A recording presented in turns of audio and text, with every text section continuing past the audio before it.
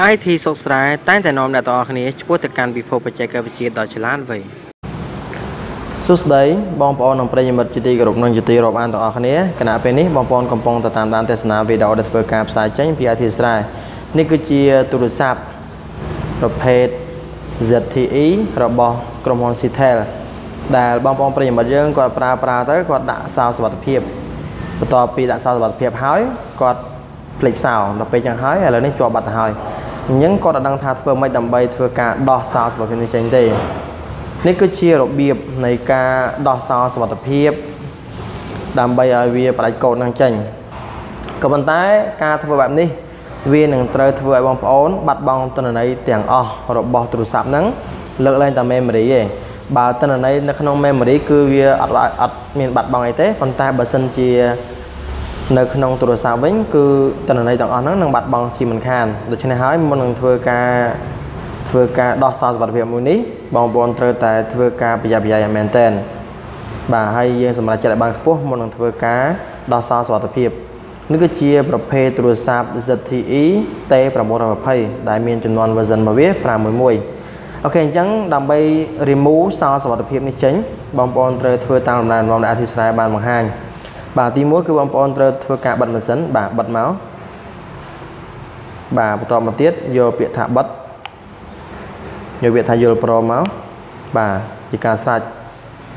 ហើយយើងរងចាំមួយផ្លែតដើម្បីធ្វើការបិទវានេះគឺជាវីដេអូភាគ1ដែលតកតងជាមួយនឹងការ remove នៅ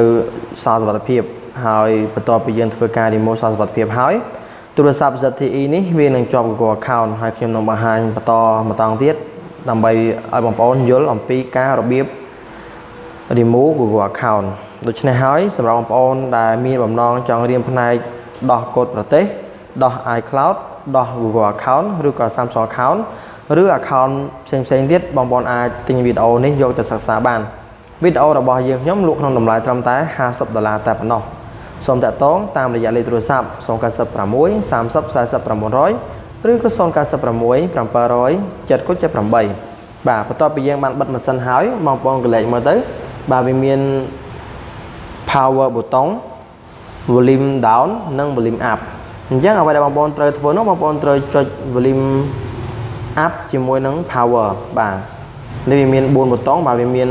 ប៊ូតុង home ទៀតប៉ុន្តែយើងអត់ពាក់ព័ន្ធទេអញ្ចឹងបងប្អូនត្រូវមកចំហៀងមកបាទបាទចុច power ហើយនឹង volume up បាទចុចតាណាគ្នាជាប់មកបាទចុចទាំងពីរនឹងតាណាគ្នាបាទនៅពេលដែលយើងចុចគឺយើងចុចតាណាគ្នា1 2 3ចុចតាណាគ្នាចឹងមកបន្តទៅទៀតវាលោតវាថា CTEL អញ្ចឹងបងប្អូនបលែងដៃចោលបាទយើងរងចាំមកផ្លែទៀតបាទទូរស័ព្ទនេះគឺជាទូរស័ព្ទដែលក្រុមហ៊ុន CTEL គេទាញដៃមកដូច្នេះហើយវានឹងចេញ logo របស់ CTEL ជាដំបូងបាទបន្តមកទៀតបងប្អូនមើលខាងលើនេះបាទគេដាក់ថា reboot system now នេះគឺជា option នៅក្នុង recovery mode បាទអ្វីដែលយើងកំពុងតែឃើញនេះគឺបងប្អូនកំពុងតែឃើញនៅក្នុង recovery mode បងប្អូនសូម select យកប៊ូតុង volume down ដើម្បីចុះទៅក្រោមហើយយើងជ្រើសរើសយកអាទី3គឺ VIP data factory reset បាទនេះ volume down មកដើម្បី select វាចុះមកក្រោមបាទ1 2បាទអញ្ចឹងទី3បន្ទាប់មកដើម្បីយកចុច power ប៊ូតុងចុចលើនឹងមកមកបាទបន្តមកទៀតបងប្អូន select អានេះ ដើម្បីទៅរកពាក្យថា delete all user data បាទចុចមួយមួយមកបាទបន្តមកយកនឹងមកទៀត power button ដើម្បី select បន្តមកទៀតនេះវាកំពុងតែធ្វើការបាទរៀបរាប់ទៅហើយ format បាត់ហើយអូខេបន្តមកទៀតយើងមើលខាងលើបងប្អូនត្រូវជ្រើសរើសយកអាទី4បាទ1 2 3បាទ បើយើងរាប់ពីលើមក3ប៉ុន្តែយើងគិតទៅវា4ណាបាទ1 2 3 4បន្ទាប់មកយកវាខាច់ partition បាទដើម្បីបញ្ចូលខាច់វាទៅវិញបាទបន្ទាប់មកហើយហើយទៀតហើយបាទនេះ formatting catch បាទ catch with complete បាទបន្តមកទៀតអ្វីដែលបងប្អូនគួរធ្វើនោះគឺគ្រាន់តែបាទជ្រើសរើសយកប៊ូតុងខាងលើគេតែម្ដងគឺ reboot system now ដែលចុចយក power ប៊ូតុងតែម្ដងមិនបាច់រើសតាណាទេចុចលើនឹងតែម្ដងបាទអញ្ចឹងវាចាប់ផ្ដើម reboot បន្ទាប់ពីយើងធ្វើបែបនេះហើយសោសុវត្ថិភាពរបស់យើងគឺបានដាច់ទៅហើយហើយការធ្វើបែបនេះគឺ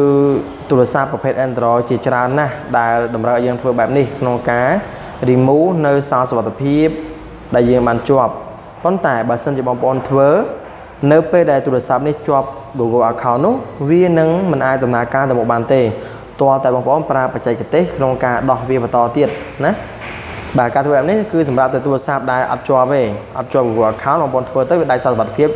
រួចរាល់តែម្ដងប៉ុន្តែបើសិនជាបងប្អូនមានដាក់ Google account គឺប្រកាសជាជាប់ហើយសម្រាប់ទូរស័ព្ទ Android ជាច្រើនប្រភេទដែលចាប់ពីចំនួន version 5ចុច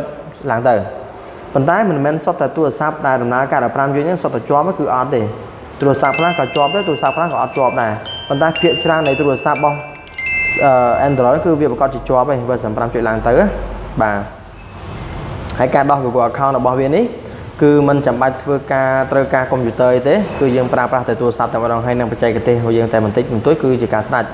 ហើយវីដេអូនេះគឺបងប្អូននឹងអាចមើលបានលុះត្រាតែបងប្អូនទិញយកទៅមើលព្រោះថាវីដេអូរបស់យើងខ្ញុំគឺមានលក្ខណៈច្បាស់ច្បាស់បែបនេះគឺបងប្អូនអាចទិញយកទៅមើលខ្លួនឯងងាយយល់ងាយធ្វើហើយនឹងងាយទទួលបានថវិកាពីអតិថិជន បាទយើងរងចាំមួយផ្លែតឥឡូវនេះវាកំពុងតែ reboot បាទក្រុមហ៊ុន Citel អូខេបន្ទាប់ពីយើងបានរងចាំវាមួយសន្ទុះមកឥឡូវនេះវាបាន reboot ចូលទៅដល់កន្លែងរើសភាសាបាទយើងយកភាសាអង់គ្លេសមកហើយបើបងប្អូនចង់ប្រើភាសាកម្ពុជាយើងក៏បានដែរបាទភាសាយើងភាសាខ្មែររបស់យើងហ្នឹងបាទនេះអាចជ្រើសរើសបានប៉ុន្តែដោយសារតែភាសាខ្មែរហ្នឹងមានការលំបាកក្នុងការយល់បន្តិចដោយសារតែយើងទម្លាប់ក្នុងការប្រើជាភាសាអង់គ្លេសទៅហើយដូច្នេះខ្ញុំសូមរើសជាភាសាអង់គ្លេសសិនដើម្បីបង្ហាញបាទនេះចុចយកភាសាណាមួយដែលបងប្អូនត្រូវការមក បាទបន្តមកយកសញ្ញាព្រួយហ្នឹងបាទបន្តមកទៀតយើងយកពាក្យថា skip បាទយក skip anyway អូខេយើងរងចាំមួយផ្លែតបាទបន្តមកទៀតគេដាក់ថា verify your account បាទគេថា this device was reset បាទគេថាទូរស័ព្ទនេះបាន reset ហើយហើយដើម្បីបន្តទៀតសូម sign in អឺឈ្មោះរបស់ Google account អ្នកមុនមុនដែលបានដាក់ហ្នឹងហើយឥឡូវយើងចុចតាណាលេងរួចហើយ បាទប៉ុន្តែបើសម្រាប់បងប្អូនដែលគ្រាន់តែជាប់ត្រឹមតែសារសុវត្ថិភាពដែលអត់មាន Google account ឬក៏ទូរស័ព្ទហ្នឹងវាអត់ជាប់ Google account ទេវានឹងផុតត្រឹមនេះតែម្ដងគឺបងប្អូនអាចធ្វើការនេះនេះទៅមុខទៀតប៉ុន្តែនេះដោយសារតែជាវីដេអូដែលខ្ញុំត្រូវធ្វើការបង្ហាញបងប្អូនដែលគាត់ជាអ្នកទិញវីដេអូពីអធិស្ឋានយកទៅមើលទៀតខ្ញុំនឹងបង្ហាញគាត់អំពីរបៀបនៃការដោះ Google account បន្តទៅមុខទៀតបាទអញ្ចឹងសម្រាប់បងប្អូនដែលមានទូរស័ព្ទដែលជាប់នៅ Google account សូមទៅទស្សនាវីដេអូមួយទៀតហើយសម្រាប់បងប្អូនដែលអត់បានទិញវីដេអូទេ បាទយើងឃើញវីដេអូតែប៉ុណ្ណេះតាក់ទងជាមួយនឹងរបៀបនៃការ remove lock screen បាទអញ្ចឹងដើម្បីតំណែងតំណងទិញវីដេអូពីយើងខ្ញុំបងប្អូនសូមតាក់ទងរយៈលេខទូរស័ព្ទ096 30 40 900ឬក៏096 700 778អរគុណចំពោះការទស្សនាជម្រាបលាពីខ្ញុំបាទតារា Finance